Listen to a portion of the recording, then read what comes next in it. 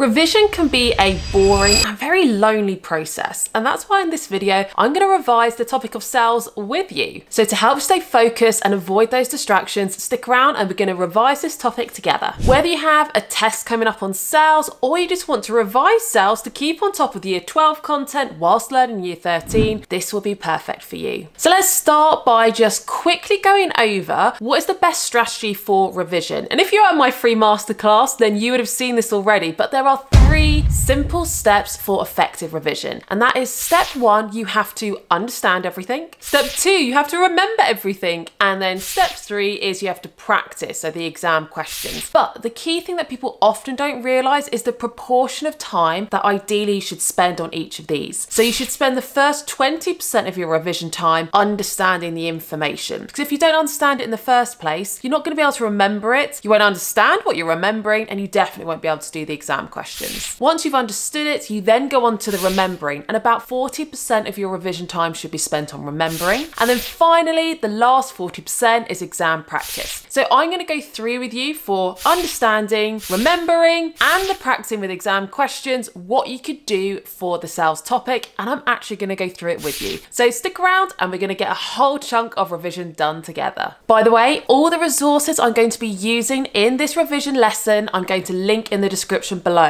They're my tried and tested resources, which examiners for the exam board have checked, and students, as you can see, absolutely love them and have made huge amounts of progress using them. So, step one is understanding. And even though the understanding stage, I do recommend you use YouTube videos like mine or your textbook or my A level notes, you can still make this stage active rather than passive. So, I'm not going to use my YouTube videos for this because me revising with my YouTube videos in one of my YouTube videos feels a bit too inception-y for me.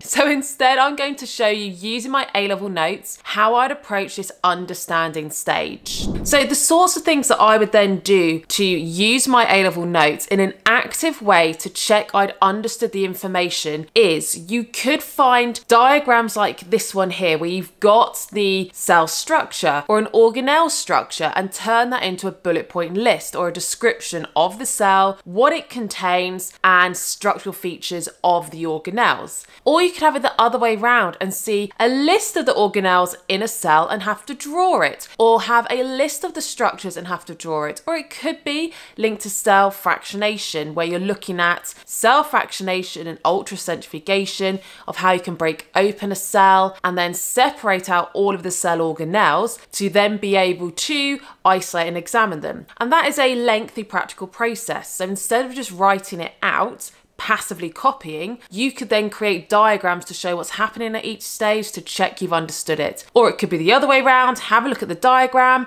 and then turn it into a block of text. So essentially when you do that understanding stage for the cell topic, you need to either use the notes, turn text into a picture, a picture into text, or you could use it to create flashcards. Or if you are gonna use my YouTube videos, then you could pause as you go and try and create a mind map to show how all the information connects, flashcards, bullet point lists.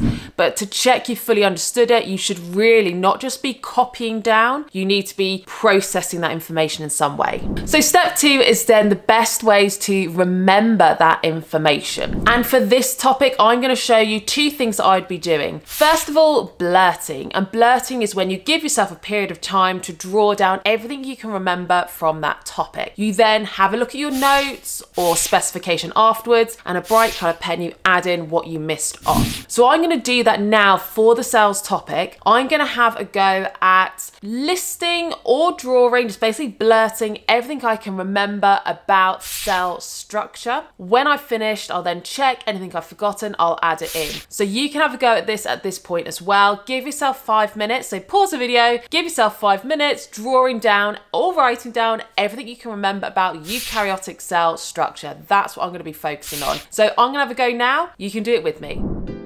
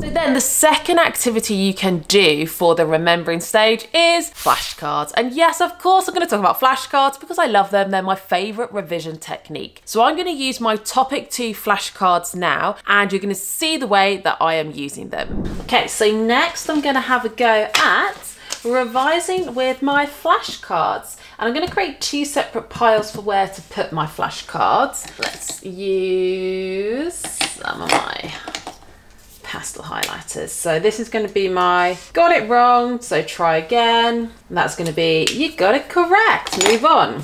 Okay, so have a go at testing yourself with me on these cards. So we've got occasional features of prokaryotes. Okay, so these are organelles that are not always present, but sometimes. So I'm thinking slime capsule, plasmids, and the pili or pili. Oh, and flagellum.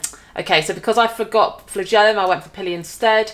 I would have to put it onto this pile. Okay, contrast prokaryotic and eukaryotic cells. Uh, okay, so prokaryotic cells are smaller. They have 70S ribosomes instead of 80S ribosomes. Um, they don't have any membrane bound organelles, so that means they won't have a nucleus all of those structures we just said there, but that's only sometimes present. So let's see. Smaller, no membrane bound organelles, no nucleus, 70S ribosomes. Oh, and again, one more. So prokaryotic cells. So you do have cellulose cell walls in plants, which are eukaryotic. Prokaryotic have murein. So it'd have to go on this pile. That's how strict you need to be when you're using flashcards. Unless you got everything correct on the card, it goes on the try again pile. Otherwise, I would have thought I knew all of that or remembered it all when in fact I I forgot a point, so I need to have that there. Then we've got the cell vacuole structure. So it's got fluid center, tonoplast membrane on the outside. It can contain colored pigments. Fluid filled,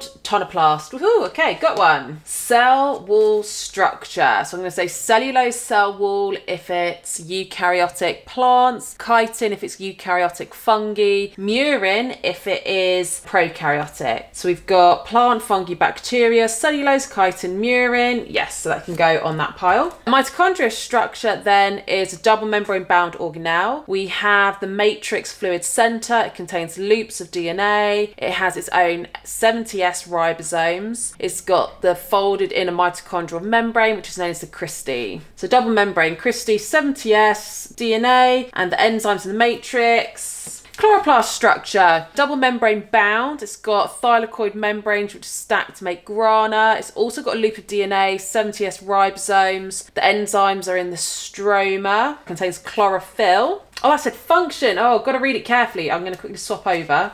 So I've just done that one, structure. So thylakoid membranes, grana, um, stroma, DNA. Chloroplast function. So site of photosynthesis. So we've got light dependent reactions on the thylakoid membrane, light independent reactions in the stroma. But this point, because it's a topic two, just had to say site photosynthesis, making glucose. Function of mitochondria is aerobic respiration to produce ATP for metabolism. So not just respiration, it's aerobic specifically, yeah, aerobic respiration to make ATP.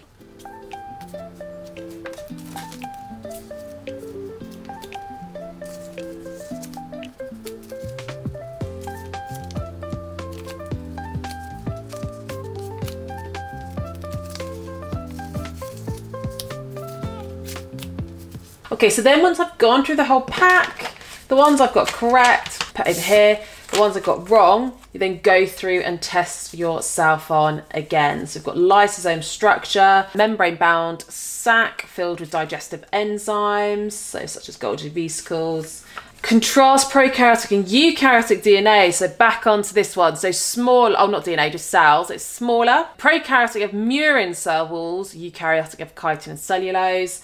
No membrane bound organelles. No nucleus. I can't remember if I said 70S ribosomes now. I feel like I did, but tell me in the comments if I didn't, because I'm putting it in that pile. Occasional features of prokaryotes. Flagella is the one I forgot the first time. So flagella, plasmids, and the capsule. Cool. So once you've got to that stage, that can then go in the tick pile. You can go through them again, but the other way round. So test yourself both ways. So now you can say, what is this a description of? Well, that is the vacuole. Yes, I can put it there. And then once you've gone through it that way and done the same thing, any that you got wrong, do them again. Shuffle them. So some forwards, some backwards, and shuffle the order. So it's not just your memory, your brain remembering the order rather than the contents. And there we go. That is us revising the cells using the flashcards, which don't forget, if you do want to get your hands on these flashcards, linked in the description below. And then finally, step three is the exam practice. So once you've understood the information and you've got a memory of it, which realistically you probably wouldn't do all three stages in one chunk like we're doing now, you might want to come back to this exam practice bit in a few days or a week. But when you've got to that stage where you understand it, you remember it, now you need to test yourself. Can you apply that to exam questions and start to improve your exam technique and see what kinds of questions typically come up and what comes up on the mark scheme a lot. So I'm gonna have a go at some exam questions now. I recommend that you pause each time the question comes up, have a go yourself, and then mark it as I go through it.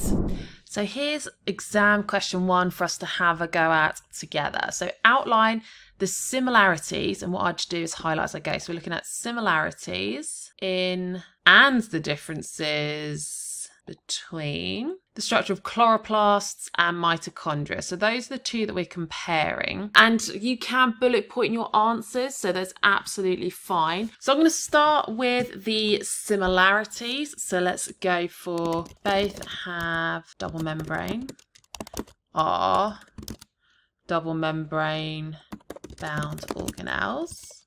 That's one similarity. Something else they have in common, they both have 70S ribosomes. So we're just thinking about the structures here, not the function. Both contain loops of DNA. And it's only four marks, so let's start to think about some differences now. So they do both have a fluid filled center, but fluid filled center is matrix in mitochondria and stroma in the chloroplast.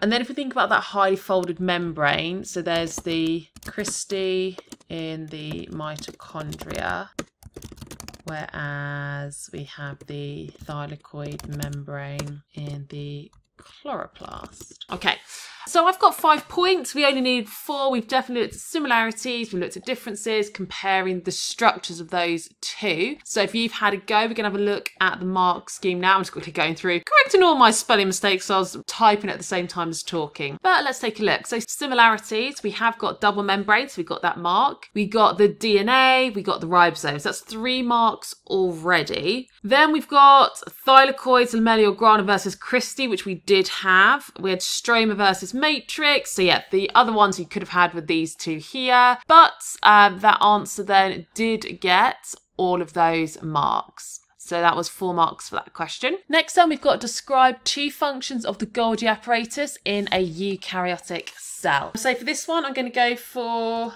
modify proteins and modify lipids. But you could say, well, I imagine we'll have a look at process instead of those two, but let's have a look at the marks. So we've got modify package transport proteins, make transport glycoproteins, modify package transport lipids, or make or transport glycolipids, and then forms or releases vesicles or lysosomes. Then let's go to the last question. Four marks, you might want to pause and have a go. We've got to describe the structure and the function of the nucleus. So I'm going to start by listing the descriptions of the structure. So I'm going to say it's got a nuclear envelope and pores in it. And I'm deliberately putting those two because I remember seeing on a mark scheme before they had to have both of those ideas to get the mark. Nucleoplasm, which is the fluid inside. Nucleolus contains chromosomes. So those are some descriptions. Let's then have functions. So within the nucleus, that is the site of DNA replication. The nucleolus is where ribosomes are made. In the nucleus, that's also where transcription happens. And if we think about the fact it contains all the chromosomes, it contains the genome of a cell. So that's what I'm going to go for for this one. Let's see. Have we got four marks from that list? Let's scroll down. So nuclear envelope and pore. So yes, I've got that one. Contains chromosomes. Got that one. Nucleolus. Yes. So that's it in terms of the structure, but three marks for the structure. Then for the function, genetic information material. So it might not have given it to me for, in fact, definitely would have given me the genome because I want genetic information for making polypeptides. However, I've got DNA replication, production of ribosomes as well, and then production of mRNA. I think transcription was also accepted for that. So that is all the marks for that question. So that's it. That is our revision session done for part one of revising cells. If you do have a test coming up, you're going to need to do more than what we've just done in this video, but it'll be this idea on repeat. So understand, remember, and then the exam practice. So best of luck if you do have a test coming up. And I really hope you found it helpful. And if you do want to get your hands on any of the resources that we use today, such as the notes or the flashcards, they are linked in the description below. If you did find this helpful, then check out this video next where you can revise biological molecules with me. But for now, that's it, and I'll see you next week.